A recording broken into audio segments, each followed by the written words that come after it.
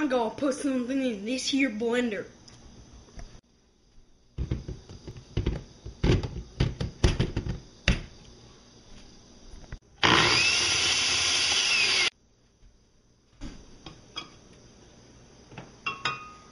What the heck? Why was there a cup full of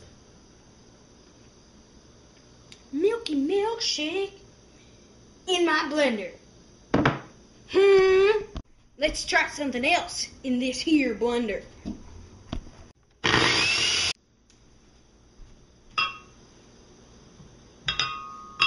What the heck? A smoothie! A cup of a smoothie in my blender. What the? Wow.